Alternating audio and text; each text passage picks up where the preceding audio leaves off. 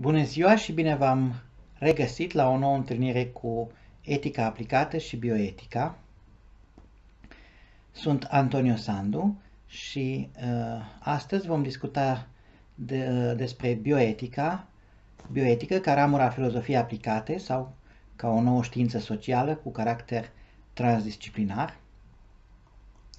Sunt uh, o serie de prelegeri pe care le realizăm în uh, cadrul Centrului de Cercetări uh, în uh, Etica Aplicată a Universității Ștefan cel Mare din Suceava, împreună cu Centrul de Cercetări Socio-Umane Lumen și cu sprijinul Facultății de Drept și Științe Administrative a Universității Ștefan cel Mare din Suceava. Aceasta este a doua prelegere, având ca suport un articol publicat anterior în limba engleză, Uh, de către subsemnatul și intitulat Bioethics, Branch of Applied Philosophy or a New Social Science with, uh, with uh, Interdisciplinary Nature. Articolul a fost uh, uh, publicat în, volum, în volumul celei de șase a conferințe internaționale Lumen, uh, care a avut loc în 16-19 aprilie 2015 și puteți viziona uh, prezentările anterioare, prelegerile anterioare pe care le-am uh, realizat în uh, cadrul acestui cerc de etică aplicată pe care îl desfășor împreună cu studenții de la Universitatea Ștefan cel Mare din Suceava și pe care îi aștept în continuare să se înscrie și pe mai departe la acest cerc de asemenea pe toți cei care își doresc să participe la cercul nostru de etică aplicată, chiar dacă nu sunt studenți la Universitatea Ștefan cel Mare din Suceava, pot să se înscrie pentru prelegerile online, cel puțin, și sperăm că în curând și pentru dezbateri și prelegeri offline care vor avea loc atunci când se va putea. Vă aștept de asemenea să uh, vă înscrieți pe canalul de YouTube Editura Lumen pentru a vedea uh, prelegeri anterioare în domeniul bioeticii, în domeniul uh, filozofiei aplicate, în domeniul sociologiei și asistenței sociale, în domeniul metodologiei cercetării sociale, prezentări pe care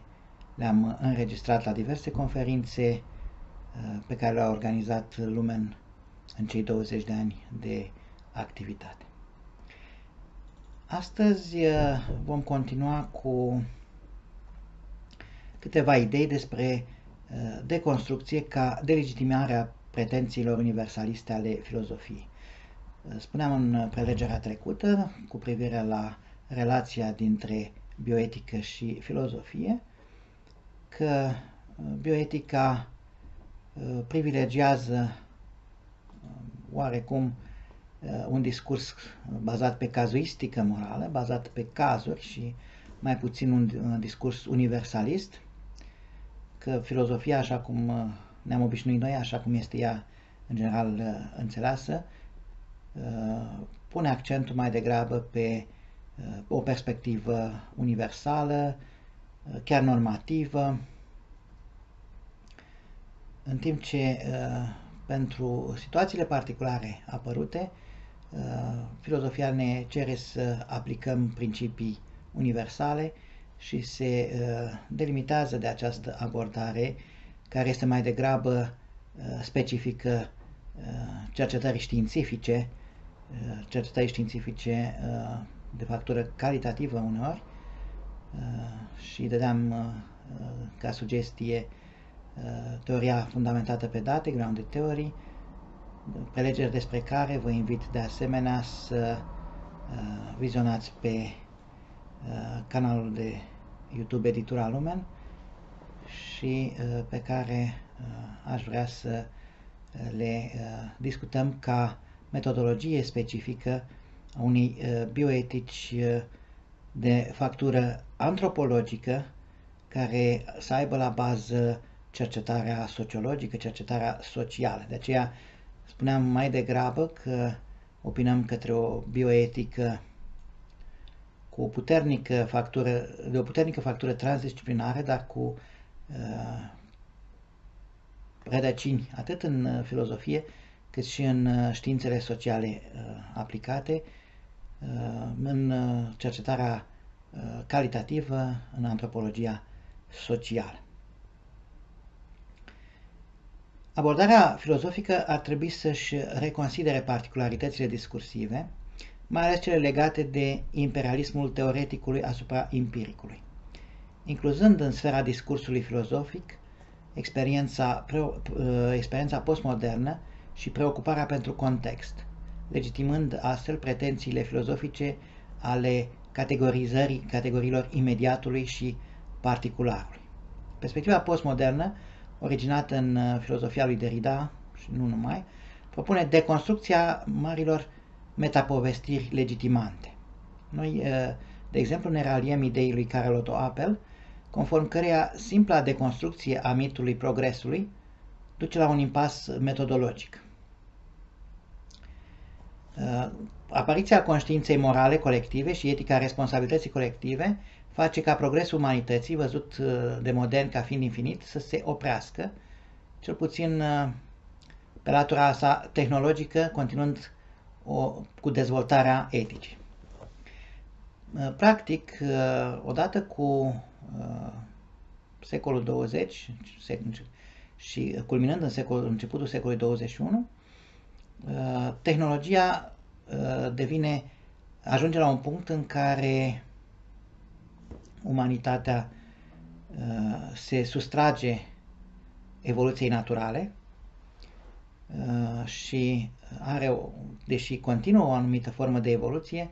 o evoluție antropizată, o evoluție care ține mai degrabă de capacitatea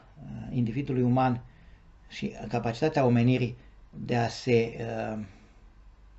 autodezvolta, fie prin uh, intermediul uh, tehnologiei propriu-zise, a științei, fie prin intermediul unor practici uh, care, unor practici sociale care ies din tiparele obișnuite, din tiparele uh, unei solidarități sociale uh, mecanice, de exemplu, și impunând uh, o umanitate individualistă, o umanitate uh, deconstruit, în care este deconstruită solidaritatea, spuneam, și în care uh, individul nu mai este uh, un, o rotiță, un subansamblu într-un mecanism universal, ci individul este un element cheie, uh, individul este un uh, un factor de perturbare pentru că el, un factor de perturbare a sistemului, dar și de uh, convergența a diverselor sisteme în care acesta uh, funcționează. De ce? Uh, iată, în situația actualei pandemii, individul este pus în, cumva, în centrul Uh, situației, uh, uh, în centrul deciziei publice, pentru că, pe, pentru că ar trebui să se limiteze astfel numărul de persoane care suferă de această infecție și care, până la urmă, eventual decedează de infecția cu coronavirus. Dacă însă gândim că individul este central și Uh, protejarea acestuia de către uh, stat, de către instituțiile publice, prin măsuri de distanțare socială, de uh, carantinare sau de autoizolare, de izolare sau autoizolare, atunci am vedea că indivizii nu sunt neapărat de acord cu aceste măsuri, ei au de, mai degrabă ca,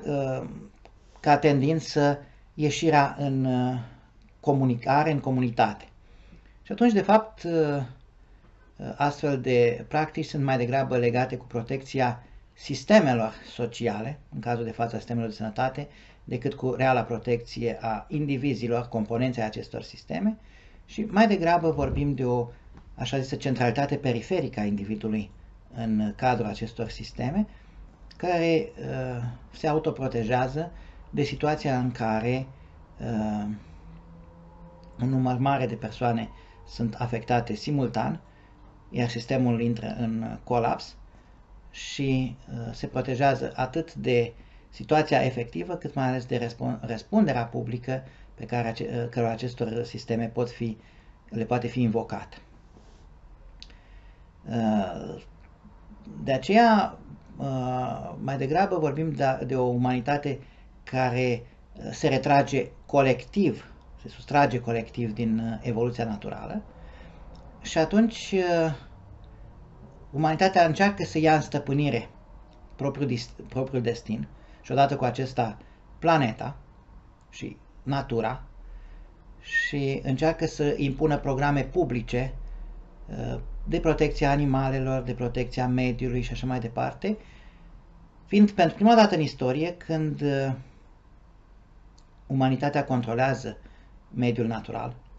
în uh, măsura în care acest lucru este deocamdată posibil, dar în același timp are și capacitatea de distrugere nu doar a propriei specii, ci a întregii vieți de pe suprafața Pământului și poate la limită, datorită arsenalului nuclear, chiar a planetei în sine. Și atunci, uh, Carlo Toapel uh, uh, atrage atenția că este necesară o nouă formă de responsabilitate de tip colectiv, o responsabilitate pe care noi trebuie să o avem ca indivizi, nu doar pentru uh, imediatitatea noastră, pentru cei care ne sunt imediat apropiați, așa cum uh, până în secolul 20 se întâmpla, ci asupra tuturor uh, sistemelor, nu doar umane, pe care le putem afecta prin acțiunile noastre. Uh, ca un exemplu, ca un astfel de exemplu, la ora actuală poate fi uh, trimisă o încărcătură nucleară postată pe o dronă, uh, pilotată cu un joystick de undeva dintr-un uh, adăpost antiatomic într-o țară și distrusă uh, o întreagă populație, distrus uh, un ecosistem, fără ca persoana care, uh, care realizează acest act sau cel care impune realizarea lui, care comandă, ordonă acest act, să poată fi uh, cunoscută și trasă la răspundere. Activitățile uh, de poluare a mediului uh, sunt tot astfel de activități cu impact colectiv. Uh, iată că în situația actuală devine uh, situația actuală generată de această pandemie devine una paradigmatică, deoarece uh, umanitatea Ehm, devine vulnerabilă în fața unui agent patogen, deci unui factor natural, pe care ehm, nu-l poate gestiona altfel decât restrângând eh, libertatea majorității oamenilor sau eh, solicitându-le o eh, restrângere voluntară a proprii libertăți de mișcare, spre exemplu, a exercitării unor drepturi culturale, spirituale, religioase, științifice, economice, pentru a proteja uh, umanitatea. Dacă situațiile uh, trecute nu puteau fi gestionate uh, de umanitate, în Evul Mediu, în Antichitate, uh, marile pandemii care au existat uh, nu, au, nu puteau fi gestionate uh, decât în mică măsură de către autorități, Uh, pentru că nu existau uh, terapii sau nu exista nici măcar uh, o medicină bazată pe evidențe, ci practici medicale, practici taumaturgice, în care se invoca ajutorul divinității, se invoca o forță exterioară umanității și, conta, și se conta foarte mult pe acest ajutor fa, față de care umanitatea conștientiza vulnerabilitatea sa în fața naturii, uh, dintr-o dată, odată cu dezvoltarea științei și cu dezvoltarea tehnologiei, umanitatea încearcă uh, o nouă abordare în care măsurile luate politic, prin politici publice, dar și măsurile de dezvoltare tehnologică rapidă, să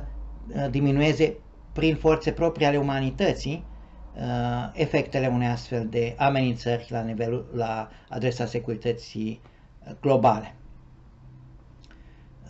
Găsirea unui vaccin, a unei terapii, a mobilizat fonduri pentru știință la un nivel fără precedent. Majoritatea statelor au reacționat solicitând populației măsuri, iarăși la un nivel care nu are, nu are precedent, tocmai pentru că există un răspuns al umanității la această amenințare din partea naturii,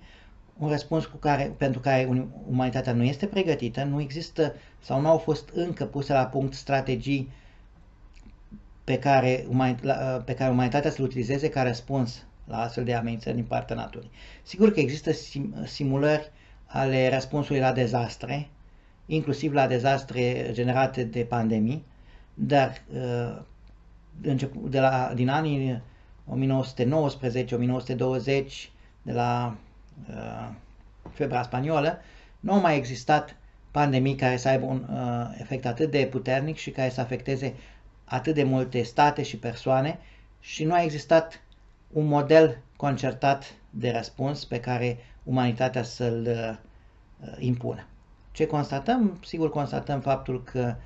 uh, decenii de evoluție în direcția globalizării, uh, în direcția construcției unei Europe unite și așa mai departe, se năruie uh, sub greutatea unui, uh, unui virus.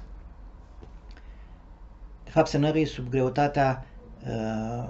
proprii pretenții a umanității de a se fi retras din evoluția naturală. Nu mai suntem o specie care acceptăm pasiv situația naturală, acceptăm pasiv că uh, un număr de persoane se vor infecta și o parte dintre acestea vor deceda, iar altele nu. Ideea de carantină apare din uh, încă în Evul Mediu, când uh, în uh, Veneția vaselor uh, venite din uh, Orient li se cerea să stea 40 de zile pentru a în 40 uh, de zile în rada portului fără a intra în uh, port pentru a se vedea că nu există persoane care să fie avut uh,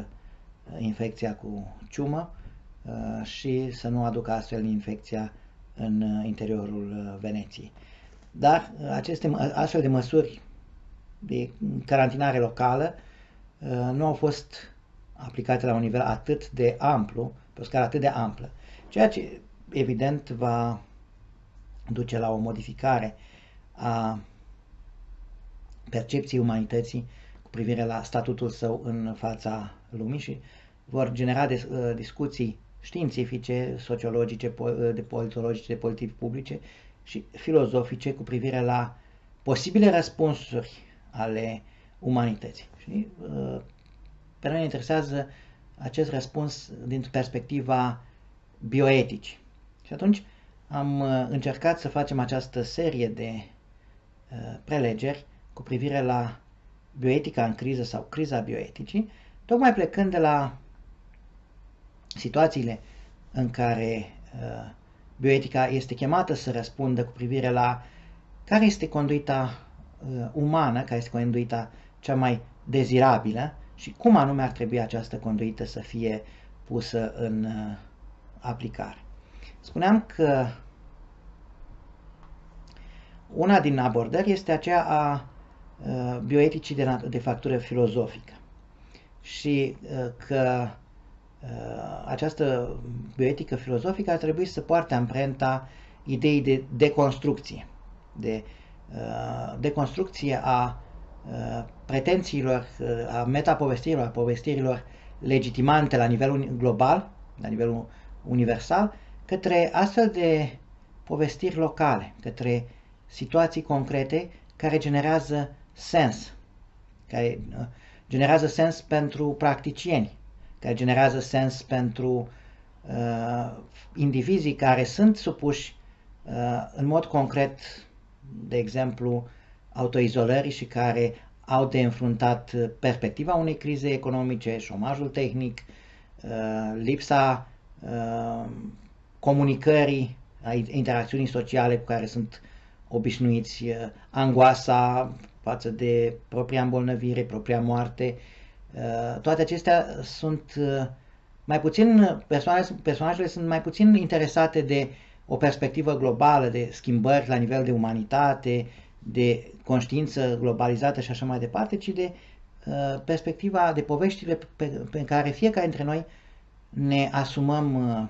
această realitate și o, experien, o experiențăm efectiv. Și atunci, aceste uh, abordări care deconstruiesc metapovestirile către realitatea imediată și către analiza derivei interpretative a construcțiilor teoretice, uh, poate sta la baza un, uh, unei abordări uh, din punctul nostru de vedere, sigur mai sunt și alte modalități de tip fenomenologic, eu știu, de tip postkantian, postutilitarist și așa mai departe, principist, care pot fi, pot fi la baza unei bioetici, inclusiv a unei bioetici în situații de criză, dar noi am uh, mers pe ideea analizei uh, deconstrucției uh, sensurilor uh, marilor constructe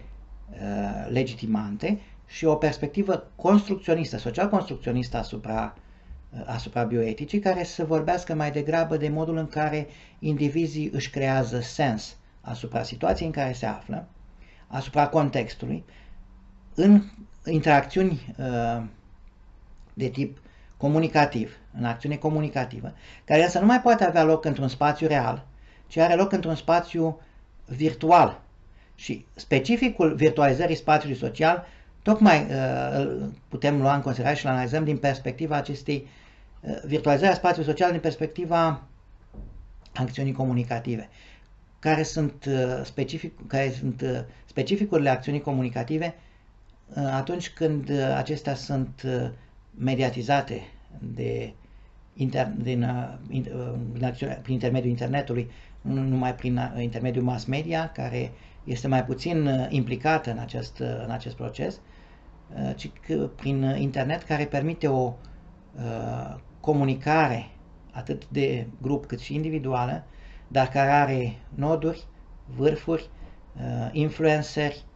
Uh, care pot fi cu totul diferiți decât uh, influencerii din spațiul uh, real, care generează căi de a te expune ca influencer, de a îți capta real sau fictiv o credibilitate, o notorietate pe care o poți avea. Deci o astfel de abordare social-construcționistă de factură postmodernă a bioeticii pe care noi o propunem ține cont de modalitățile în care uh, indivizii uh, își uh, alocă, își asumă sensuri cu privire la uh, situația în care se află, la fenomenele sociale la care sunt uh, supuși, uh, deprivarea de anumite elemente religioase. Uh, lipsa posibilității participării directe la uh, ceremonii religioase, inclusiv uh, de Paște, uh, inclusiv în sărbători fundamentale ale creștinismului, dar și în țări care nu sunt neapărat orientate către creștinism, ci către islam sau către iudaism. Există astfel de distanțare față de practica ritualică imediată. Și atunci, cum își fac indivizii sens asupra acestei realități noi de natură spirituală? Este aceasta o abordare specifică bioeticii sau mai degrabă una specifică uh, microsociologiei sau uh, uh, sociologiei uh, cunoașterii, uh, sociologiei uh, elementelor uh, de conștiință și antropologiei sociale și așa mai departe. De aceea spuneam că mai degrabă abordarea bioetică pe care noi o privilegiem este una uh, de factură transdisciplinară în care recunoaștem uh, elementul constitutiv decisiv al filozofiei de factură postmodernă, dar într-o abordare social-construcționistă, mai degrabă una științifică care să privilegieze analiza discursului diversilor actori comunicativi, să analizeze deriva interpretativă și să pună în centrul modelului etic acceptabilitatea socială și bioetică a unui fenomen. Vorbeam de uh, această distanțare socială. În ce măsură oamenii își creează un sens pentru față de acest fenomen al distanțării sociale, dacă această distanțare devine acceptabilă altfel decât impusă prin uh, activitatea organelor de ordine, dacă uh, o uh, distanțare socială va continua după uh, eliminarea pericolului implicat de uh, pandemia de coronavirus sau, uh, va fi, sau se va reveni la o comunicare sau va fi uh, intensificată comunicarea socială imediată sau vom, vom asista la o virtualizare și mai profundă a spațiului social, a, a um, interacțiunilor dintre indivizi. Astfel de probleme intră în sfera de cuprindere a bioeticii, pentru că vorbim despre uh, o etică a tehnologiilor care uh, devine o preocupare a bioeticii în uh, ultimele decenii, o etică a modificărilor aduse uh, speciei umane și a individului uman, human enhancement, a îmbunătățirii artificiale a condiției umane, și a acceptabilității sociale a acestor practici tehnologice, pe care însă nu putem aborda dogmatic prin uh, viziuni filozofice particulariste a uneia sau altuia dintre cercetători, ci uh, pe de o parte prin analiza contextului social, a mediului social în care diverse fenomene uh, deglobalizante au loc, și pe de altă parte a semnificațiilor pe care uh, individul, uh, sub influența uh, interacțiunilor sociale, sub influența uh, comunicării uh, publice și a vectorilor de uh, construcție socială, a instanțelor construcției sociale, fie că vorbim de influencer, de instituții, de practici, uh, pe, influențe pe care le are asupra uh, asumării uh, unor constructe sociale de către uh, indivizi. Și atunci, această abordare este mai degrabă uh, una uh, științifică, de tip antropologic, antropologic uh, uh, în care discutăm despre contextul uh, social în care ni se, în care ni se uh, revelează sau ni se uh, Uh, atribuie un discurs uh, etic, un discurs uh, bioetic.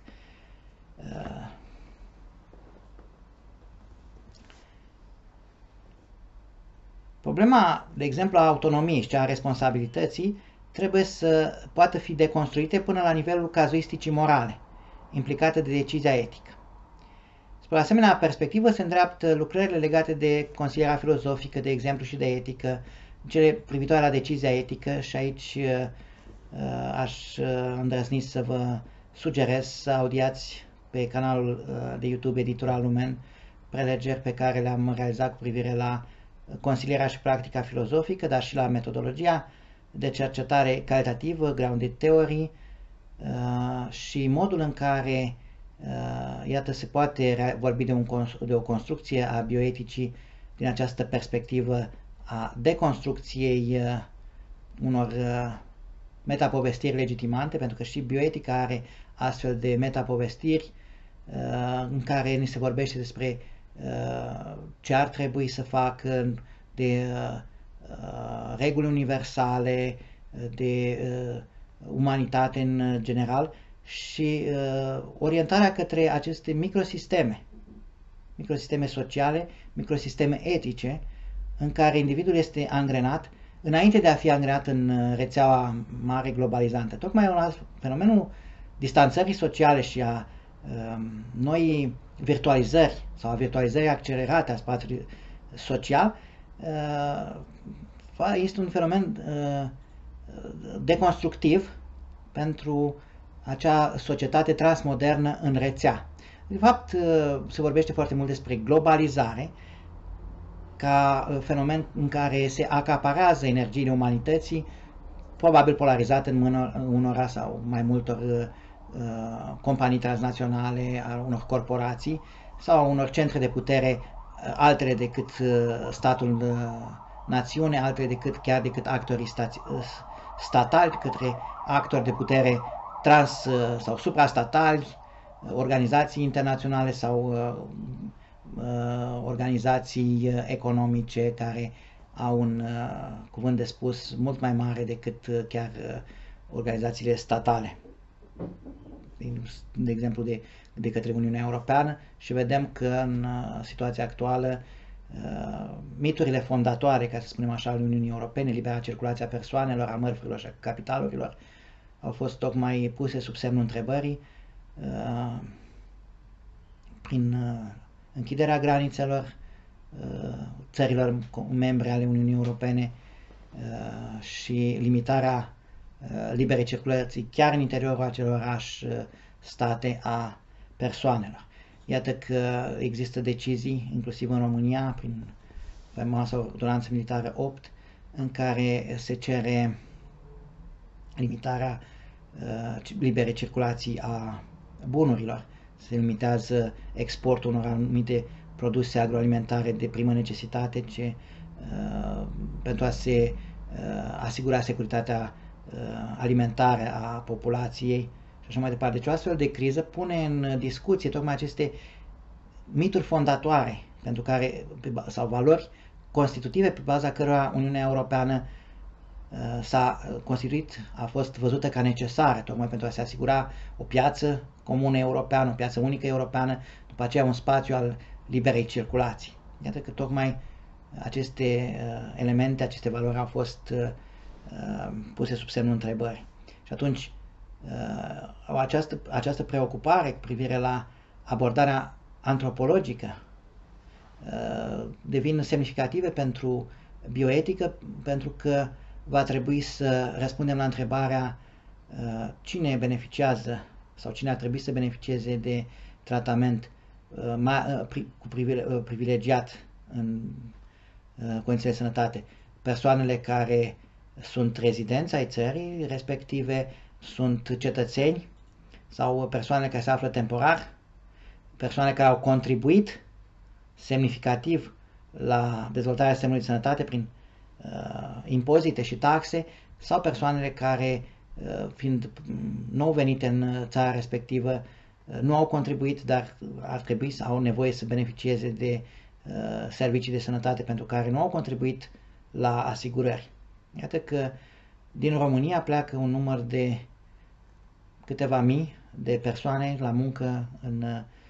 țările din vestul Europei la munci sezoniere agricole. Persoane care poate au fost în anii anteriori și au contribuit direct sau indirect la sistemul de sănătate în țările respective, dar care uh, sunt, uh, fiind angajați uh, legal cu acte în regulă, probabil contribuie în prezent la, sau vor contribui pe măsură ce vor fi angajați la sistemul de sănătate, la asigurările din țările respective. Dar în momentul în care se pune întrebarea referitoare la continuitatea asigurării, de exemplu la un stadiu de cotizare de minimum 3 luni, 6 luni în țara respectivă, în condițiile în care persoana respectivă ar avea nevoie de asigurări de sănătate imediate, ar beneficia, ar beneficia de aceleași servicii, nu doar dacă nu doar în mod, în mod obișnuit când sistemul de sănătate face față unor astfel de provocări. Cu alte cuvinte, există suficient uh,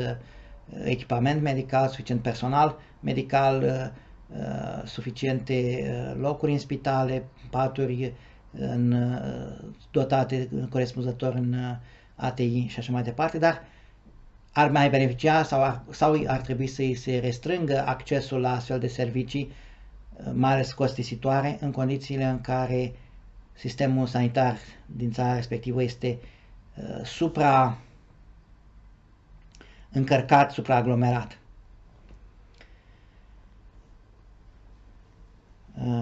Ca atare, revenind la articolul pe care l-am menționat, și anume Bioethics, branch of applied philosophy or a new social science uh, with the interdisciplinary nature, pe care am avut onoarea să-l uh, public în cadrul uh, uh, volumului de prosidic al celei de șase a conferinței internaționale Lumen, uh, Rethinking Social Action Core Values. Uh, spuneam că uh, problema autonomiei și a responsabilității ar trebui fi, să fie deconstruită până la nivelul cazuisticii morale. Uh, și uh, de asemenea vorbeam de bioetică ca un discurs filozofic de factură deconstructiv-reconstructivă. Uh, etapa de deconstrucție propriu-zisă fiind asociată una de analiza a construcției sociale a respectivei realități. Tocmai vorbeam de uh, perspectiva construcționistă uh, și uh, aș putea să uh, vă sugerez și o abordare filozofică și mai ales una sociologică cu privire la epistemologia social-construcționistă, social-construcționist epistemologii pe care am publicat-o la editura La Plambert și pe care am republicat-o în cadrul editurii Lumen în 2013 uh, și pe, uh, pe care o puteți uh, găsi în librăriile online și în care încercam să fundamentez această abordare epistemologică social-construcționistă. Privire la construcția socială a realității, spuneam că îmi face plăcere să vă prezint un volum Social Construction of Reality as a Communicative Action pe care am avut privilegiu să-l public la Cambridge Scholar Publishing din Marea Britanie și care uh, conține de fapt uh, teza de abilitare pe care am susținut-o în sociologie la Universitatea din Oradea și în care uh, prezint uh, pe larg această abordare constructiv-reconstructivă, care este o depășire a deconstrucției propriu-zise, pentru că față de această deconstrucție ar trebui să-i asociem o etapă de analiză, spuneam, a construcției sociale, de analiza instanțelor în care uh, construcția socială a unui uh, eveniment, a unui uh, fapt social, a unei instituții are loc. Și, practic, uh, deriva interpretativă uh, care face ca uh, o anumită idee să își schimbe uh, treptat semnificația pe cursul uh, interacțiunilor comunicative la care este supusă. De exemplu, uh, ideea de acceptare uh, etică, acceptare morală, poate fi uh, astfel uh, urmărită ca uh, derivă interpretativă de la uh, limitele normative ale acestei uh, acceptabilități. Ce este acceptabil este ceea ce este legal, deci perspectiva sociojuridică asupra acceptabilității, uh, ce uh, cuprins în uh, faimosul, uh, în faimoasa expresie de natură juridică ce nu este interzis, este permis. Cu alte cuvinte, este acceptabil tot ceea ce prin acte normative clare și explicite este interzis, către acceptabilitatea socială ca toleranță, înțeleasă ca toleranță, poate să, să fie permisă comunicarea socială, de exemplu, cu persoane de altă etnie, cu persoane de altă orientare sexuală și așa mai departe, dar acestea să nu fie acceptabile pentru o comunitate uh, socială uh, în cauză, restrict, uh, restrictivă, și iată acceptabilitatea în anumite condiții. Este acceptabilă libera circulație în Uniunea Europeană a bunurilor, persoanelor, capitalurilor, dar devine inacceptabil pentru foarte mulți,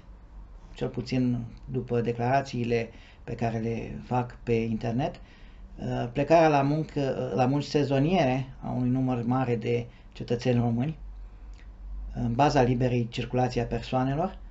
și în baza unui, unor contracte de muncă asigurate de către partea străină și este considerat că, iată, este inacceptabil ca cetățenii români să plece să uh, desfășoare activități, să fie sclavi pe plantații în alte țări și așa mai departe, deși probabil că la noi în țară fie nu au locuri de muncă, fie activitățile sezoniere pe care le pot desfășura și care le desfășoară și în uh, străinătate sunt mult mai prost uh, remunerate sau pur și simplu nu sunt disponibile. Iată că dacă devine acceptabil pentru o largă majoritate ideea de liberă circulație la nivelul spațiului comun european, fiecare dintre noi sunt, ne bucurăm că putem uh, circula, sau atunci când puteam circula liber în Europa, că putem vizita Milano, Roma, uh, Londra, uh, Paris, Viena și așa mai departe, n-aș vrea să omit niciun punct de atracție turistică și suntem uh, uh, frustrați de faptul că, iată, nu putem face astfel de vizite decât în spațiu virtual. Acum, în acest moment în care granițele sunt închise, vă reamintesc că acest, uh, acest prelegere este înregistrată în perioada în care, datorită stării de urgență, persoanele sunt invitate să se autoizoleze la domiciliu, iar granițele statelor sunt uh, în general închise pentru, uh, cel puțin pentru activități turistice, uh, sunt fiind deschise limitat pentru activități legate de îngrijirea sănătății, legate de comerț și, iată, de prestarea unor munci ocazionale. Sigur că devine inacceptabil și mulți își exprimă Uh, naționalismul uh, și tendințele de uh, revanșarde sau tendințele extremiste de distanțare nu socială, ci de distanțare etnică față de celelalte etnii, față de celelalte țări și așa mai departe, pentru că fundamental ideea de Europa Unită a fost uh, construită fără a fi uh, deconstruit în totalitate naționalismul.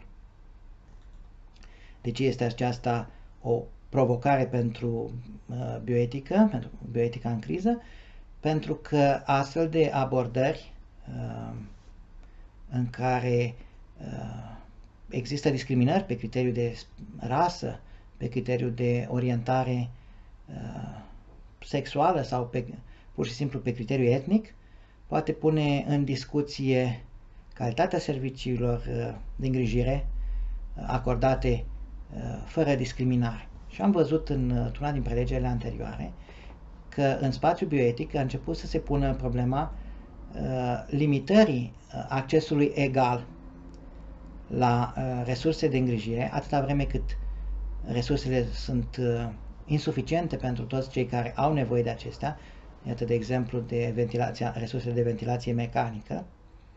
Și atunci se pune problema care ar fi persoanele cărora nu ar trebui să li se uh, dea accesul la astfel de resurse. Ar putea fi persoanele vârstnice, ar putea să existe un avantaj pentru persoanele vârstnice care au mai multă nevoie și atunci ar trebui să fie mai degrabă ele prioritare sau uh, ar trebui ca tocmai pentru că sunt vârstnice să fie discriminate și uh, locul lor să fie mai degrabă oferit persoanelor tinere cu o speranță de viață mai, uh, mai mare și cu o, practic, o productivitate socială și economică mai mare, uh, o, o productivitate estimată socială și economică mai mare. Ar trebui să fie cadrele medicale, medicii, să aibă o prioritate la astfel de terapii care să le salveze viața sau care să-i uh, facă mai rapid, să, să aibă o recuperare mai rapidă, tocmai datorită uh, valorilor imediate, pentru că a se întoarce mai rapid în uh,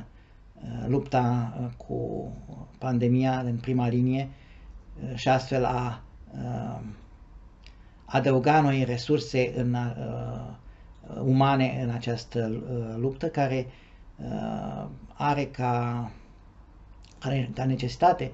uh, un număr crescut de personal medical și atunci, iată, valoarea imediată ar putea fi un criteriu de uh, eliminare. Care sunt, practic, uh, aceste uh, reguli de acceptabilitate? Și uh,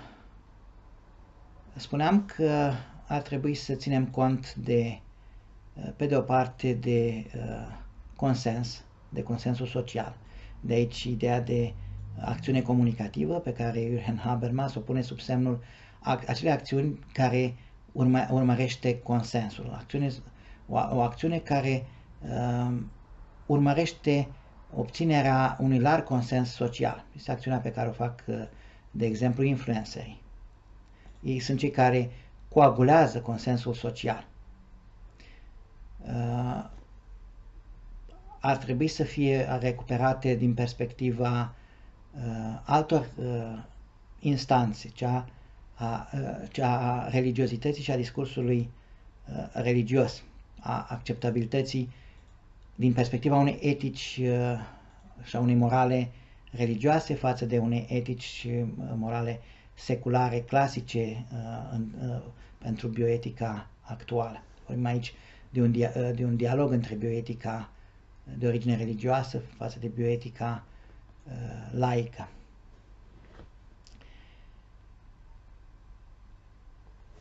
Recuperarea marilor sisteme etice poate fi realizată din perspectiva analizei uh, derivei interpretative, derivei semantice a conceptelor, sub imperiul diverselor instanțe constructive a realității sociale.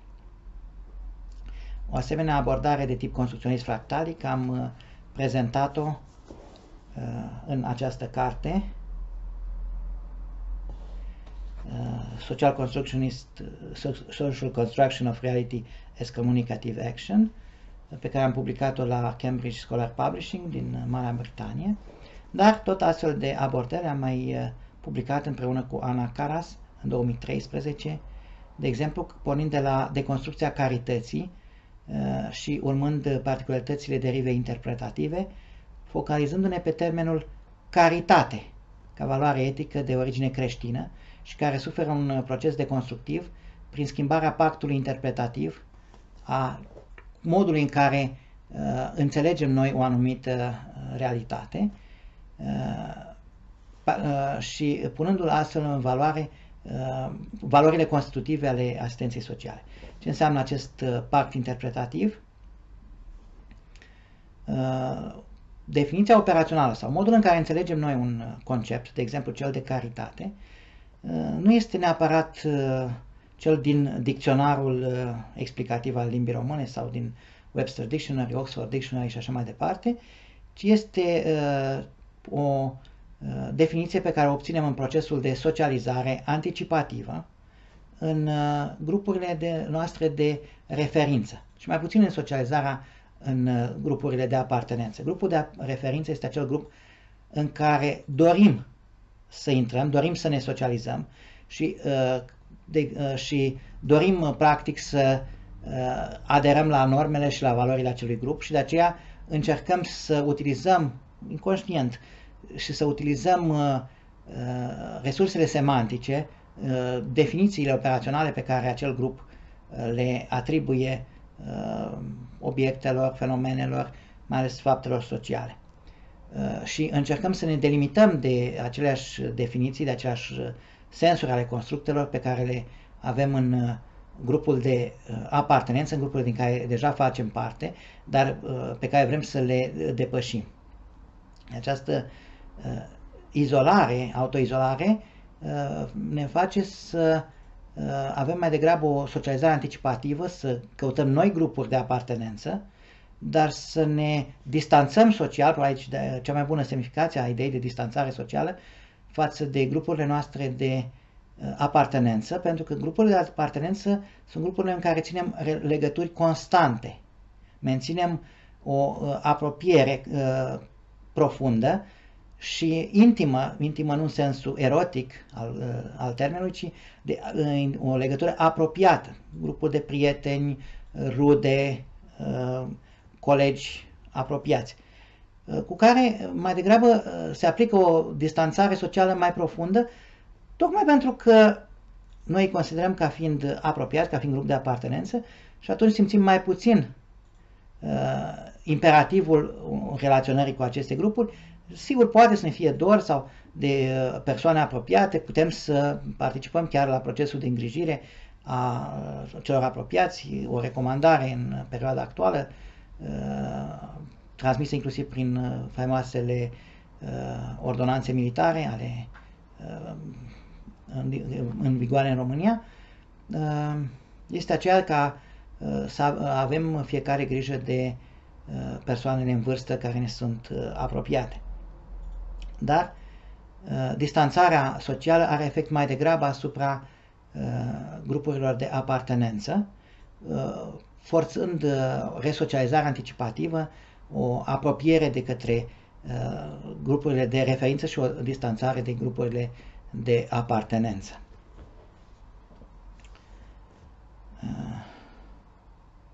Iată că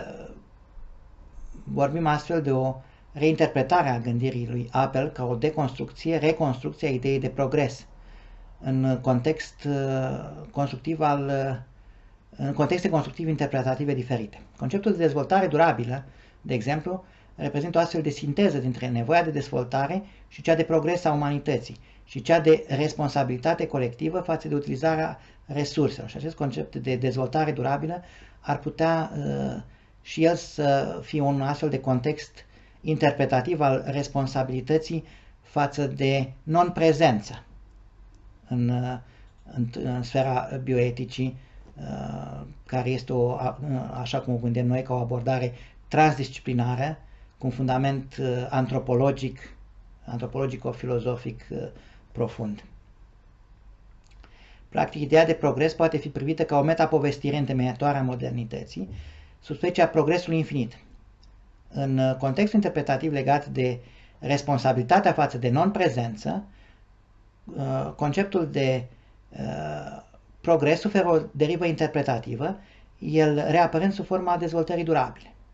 Ce înseamnă această responsabilitate față de non-prezență? în, uh, așa cum este ea gândită în etica clasică, chiar în etica, în morala de, de factură creștină, vorbim de o iubire a aproapelui. Uh, de o responsabilitate practic față de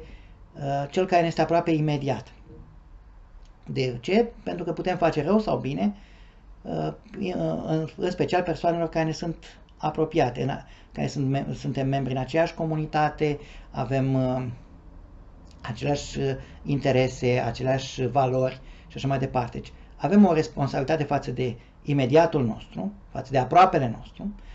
uh, suntem chemați chiar să-l iubim, să avem o iubire față de aproapele, dar este mult mai greu să ne gândim la o responsabilitate față de non-prezență. Nu față de non-prezență față de cineva apropiat dacă în momentul de față nu este prezent, deși globalizarea induce chiar și acest lucru. Avem o responsabilitate față de uh, românii care aleg să meargă la muncă în Germania în această perioadă și se înghesuie în uh, aeroporturi pentru a pleca, ignorând sau fiindu-le negat dreptul la distanțare socială uh, și la menținerea unor standarde igienice în perioada de pandemie. Avem o responsabilitate față de aceste persoane, chiar dacă noi nu suntem uh, în momentul de față în aeroport, chiar dacă în, între acele persoane nu sunt și apropiați nou. Dar responsabilitatea față de non-prezență înseamnă o responsabilitate față de generațiile viitoare, care ar trebui să uh, mai găsească un ecosistem viabil, care ar trebui să, uh, față de care ar trebui să ne preocupăm de uh, ce, însemn, ce efecte vor avea tehnicile de human enhancement și mai ales modificarea liniei germinale, modificarea genetică a urmașilor și a urmașilor urmașilor noștri, cum ar spune uh, ilustrul domnitor al Moldovei, Ștefan cel Mare, pentru că, de fapt, modificând uh, acum uh, uh, o serie de elemente genetice mai ales, putem modifica umanitatea viitoare uh, și cu efecte la nivel de generații sau la efecte viitoare ale umanității. Iată că acel butterfly effect, uh, uh, foarte frumos descris pe internet sub forma unei glume,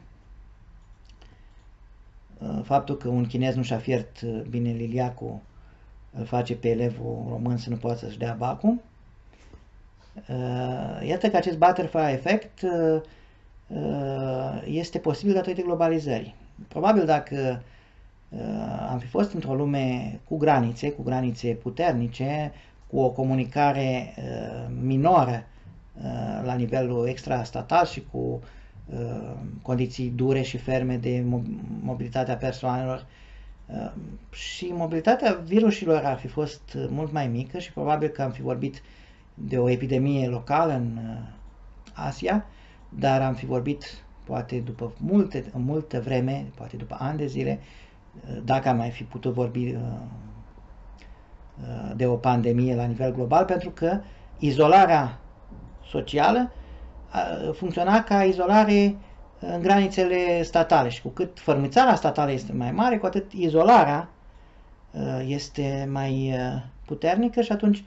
o epidemie care afectează populația din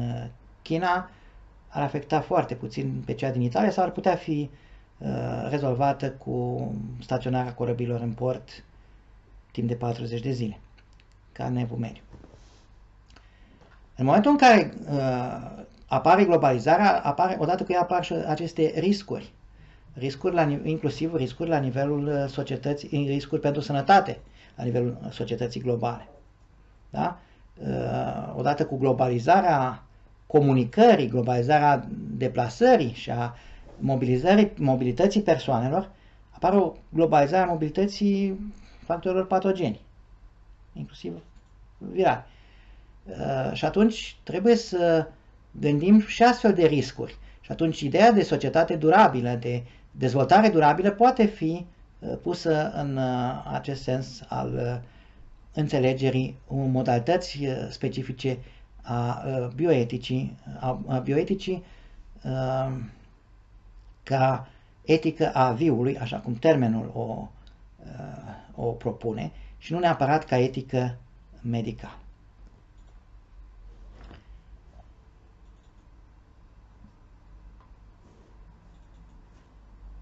Cu aceasta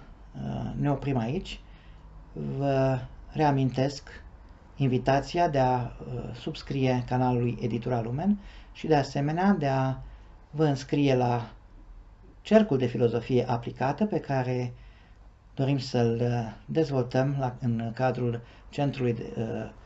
Etică Aplicată a Universității Ștefan cel Mare din Suceava, în parteneriat și în colaborare cu Asociația Lumen,